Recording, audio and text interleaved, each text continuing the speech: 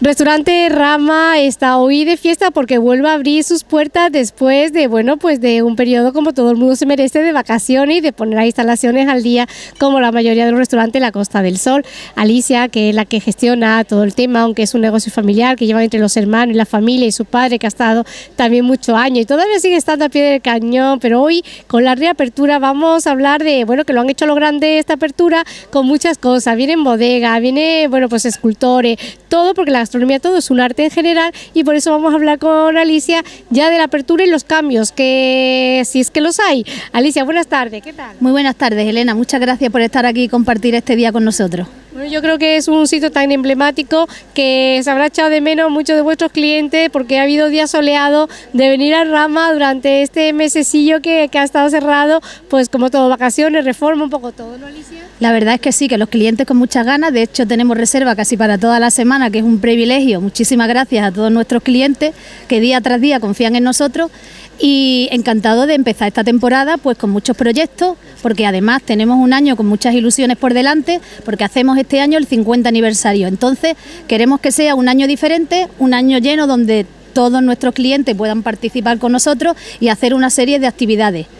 Como hoy que tenemos, hoy empezamos el restaurante con la apertura, una degustación de arroces, unas degustaciones de vino, además tenemos un fantástico escultor, Pedro Bueno, que es de Gijón, se ha afincado aquí en Marbella, quiere comenzar aquí una trayectoria y ha expuesto aquí una exposición de todas sus esculturas que son una preciosidad como ya tendréis oportunidad de verlo y estaremos aquí durante todo el mes con la exposición estará Pedro con nosotros.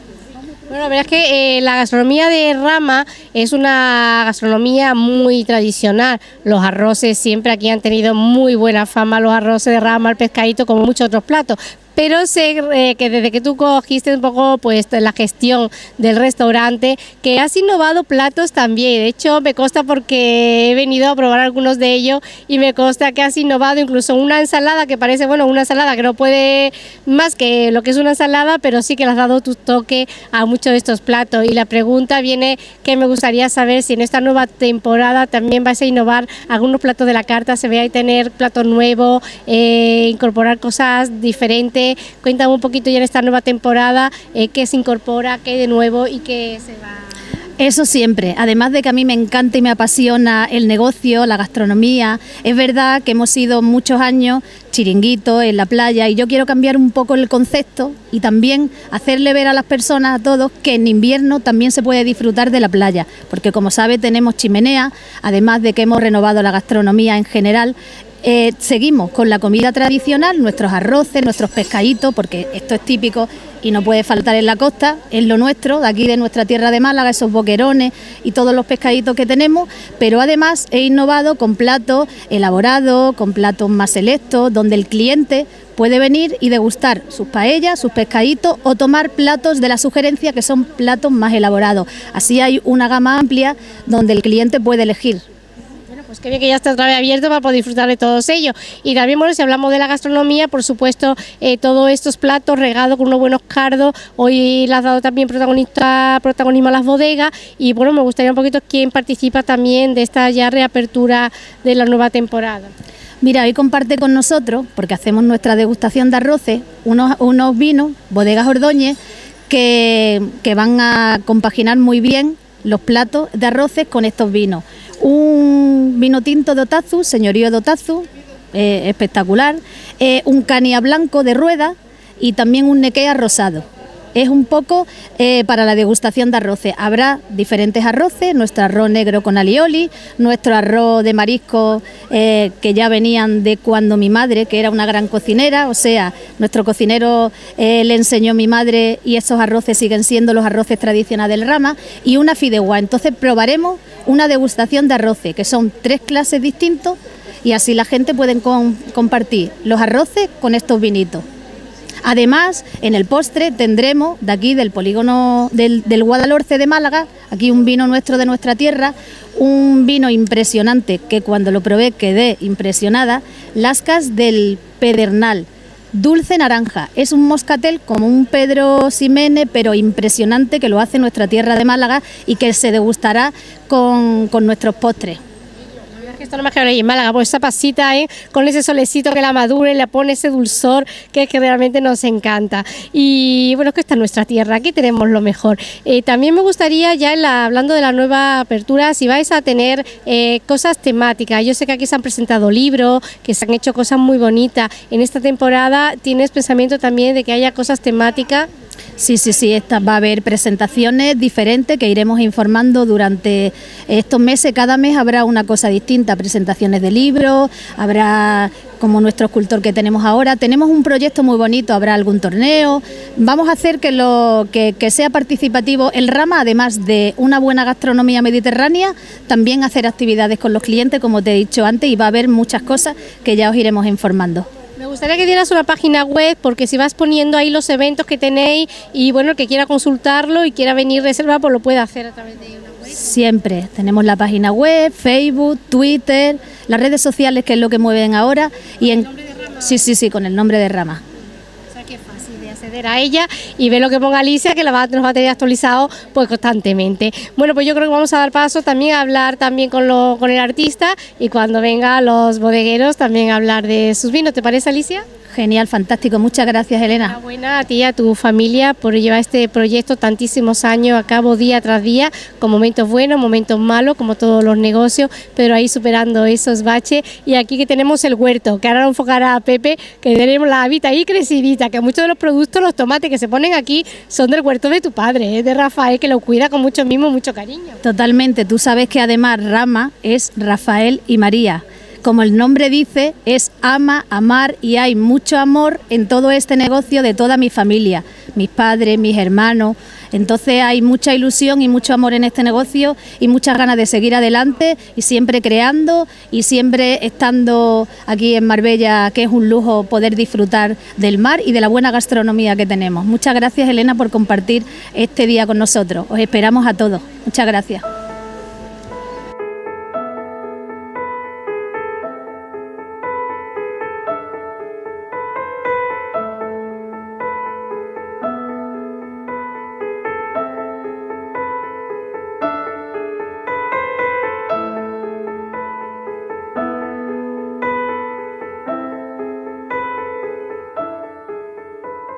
Bueno, ya hemos hablado con Alicia de una reapertura a lo grande, con mucho arte, porque la gastronomía, como yo digo, es un arte. Y también están aquí los artistas pues exponiendo sus obras eh, fabulosas. Ah, vamos a hablar ahora con el señor eh, Pedro Bueno, que es el escultor y que lleva una larga trayectoria, eh, trabaja la madera y a modo profesional. hoy están expuestas aquí y durante la entrevista la vamos a ir viendo. Son una pequeña colección la que tiene aquí porque son muchas más, nos comentaba, y, pero bueno, nos vamos a conformar con estas maravillas que se ponen en el rama hoy. Buenas tardes. Hola, buenas tardes. ¿Cómo es usted? Muy bien. Bueno, estamos encantados porque realmente es usted, bueno, de los pocos, ¿no? Escultores que trabajan la madera, que, que ahora me contará su trayectoria, cómo empezó todo esto. Bueno, yo sé que viene usted de familia de banistas, ¿es cierto? Exactamente, sí, yo vengo de una saga de banistas, ya mi tatarabuelo lo era y tal. Y bueno, yo empecé en plan artesanal, como se hacía antes, eh, de pinche, de aprendiz, barriendo el taller y acarreando tablones y tal, y ahí fui evolucionando hasta que derivé en, la talla y en la escultura de madera. Realmente difícil, ¿no? Tallar la madera y darle como usted le da vida, porque le da movimiento, le da, o sea, lo que estamos viendo es un, realmente una maravilla. Claro, bueno, en un principio lo que tienes que tener son las, inquietudes artísticas para, llevarlo a cabo y luego la, técnica y el oficio, obviamente, y muchas horas de trabajo. Nunca se llega a perfeccionar uno del todo, pero bueno, se va intentando. ¿Cuáles son? ¿Qué tipo de maderas son las que usted trabaja? ¿Hay alguna que eh, sean más...? Bueno, yo, yo provengo de Asturias eh, y entonces allí se trabaja más la madera del bosque atlántico, ¿no? Que, nogal, roble, cerezo, castaño. Aquí estoy experimentando con cedro, con maderas más de, de aquí de la zona y tal. Y la verdad que es con, una, con un buen resultado y me está saliendo bastante bien pero generalmente la madera a utilizar son maderas nobles, tienen que ser maderas semiduras, nobles, que se dejen trabajar. Bueno, y por hoy ya vemos que tiene usted pieza también para regalar, eh, tiene para, bueno, retablo, que lo hemos visto en internet precioso, y tallas de todo tipo, ¿no? Sí, sí, lo que intento es abarcar pues todo el abanico, ¿no? Desde piezas de regalo, o sea, más asequibles económicamente, a esculturas ya de mayor calado y mayor porte, y luego, pues eh, normalmente mi obra es eh, privada, prácticamente toda privada. Y luego he trabajado para instituciones, tengo trabajos para ayuntamientos, para el clero, el retablo que acabas de nombrar, eh, en la iglesia de Barro, en Llanes. Luego también en el concejo de Llanes tengo una ruta senderista con toda la mitología asturiana.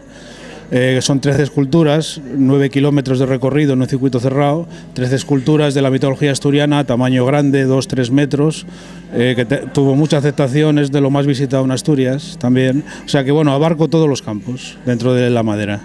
Bueno, hemos elegido como escenario una que es súper curiosa, no sé si son duendecillo, ya me lo explicarás un poco, me gustaría que me la definiera, porque es una de las obras que han sido premiadas. Sí, tiene un premio internacional, me lo dieron en Char, en Francia, hace ya bastantes años. es una reunión de Trasgus, Trasgu en, es eh, duende en asturiano, ¿eh? reunión de Trasgus. Entonces tiene el, valor que tiene es la dificultad técnica por el entrelazado de las formas de las figuras, y hay que tener en cuenta que está tallado en una sola pieza, en un solo tronco, claro. Y entonces, aparte de, la dificultad técnica, bueno, luego el resultado final, ¿no? Artístico. Bueno, hace usted alarde de su apellido porque es muy bueno. Bueno, lo intento. Sí, realmente son obras preciosas. ¿Cuántas en total se han expuesto aquí en el Rama hoy? Aquí en el total exactamente no lo sé, pero como 15 piezas aproximadamente puede, haber. Sí.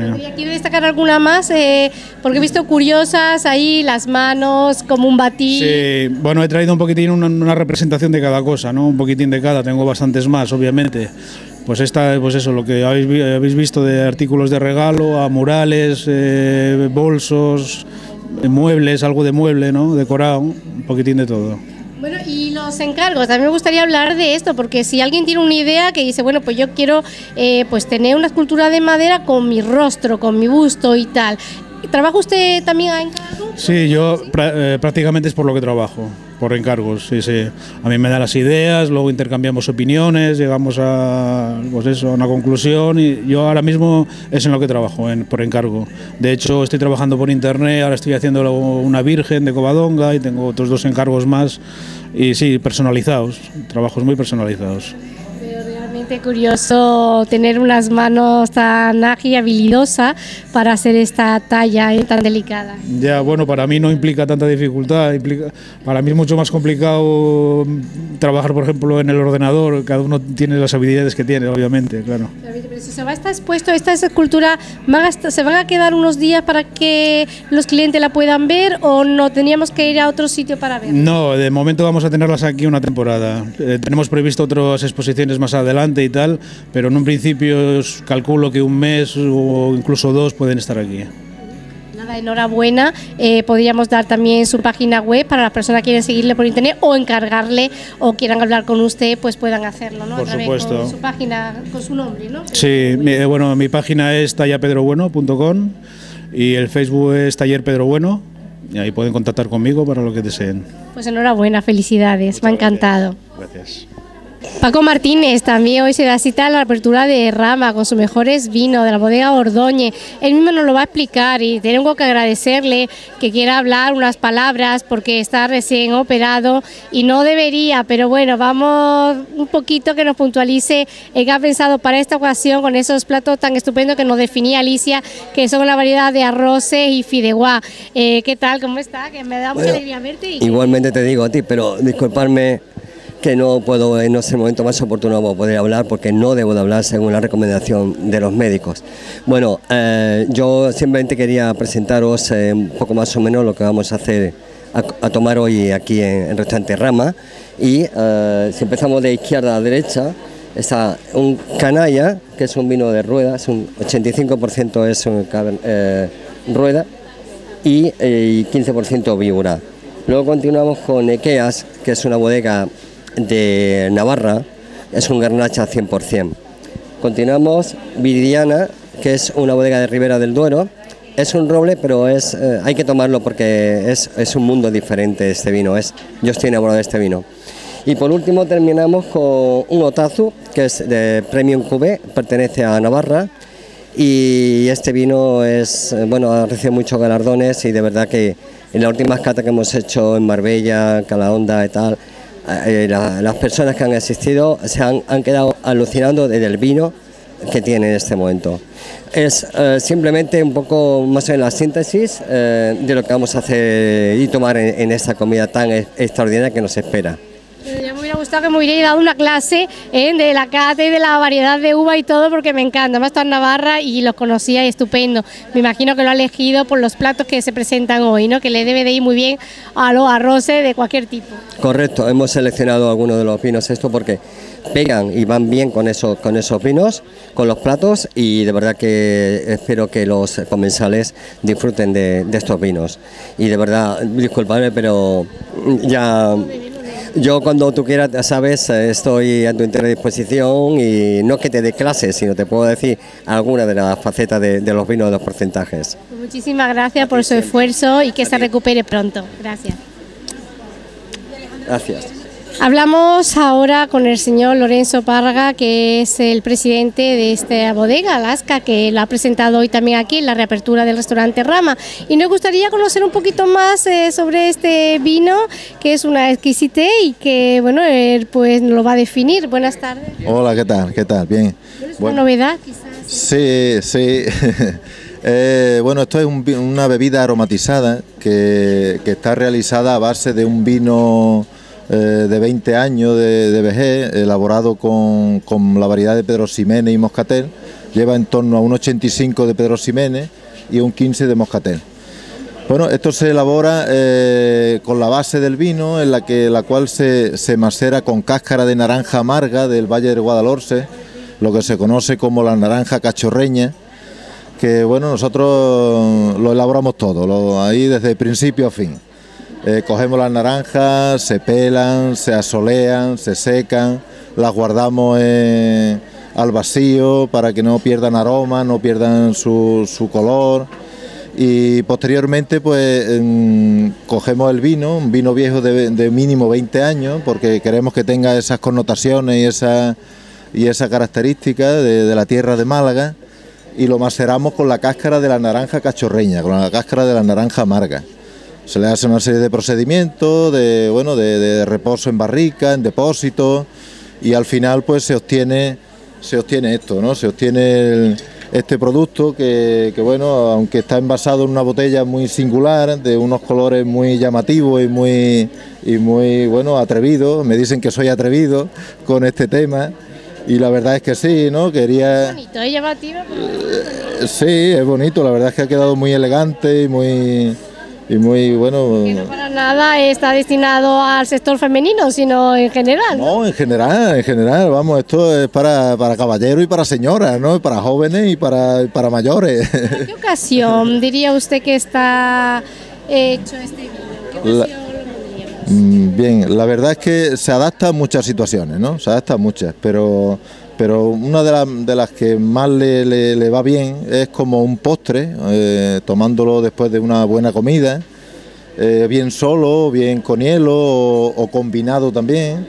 También se adapta muy bien para, elaborar cócteles, para hacer costelería, que de hecho ya estamos haciendo algunos que, próximamente los pondremos en la web y, bueno, para orientar un poco de cómo, de cómo se puede, se puede tomar y se puede, se puede disfrutar de él.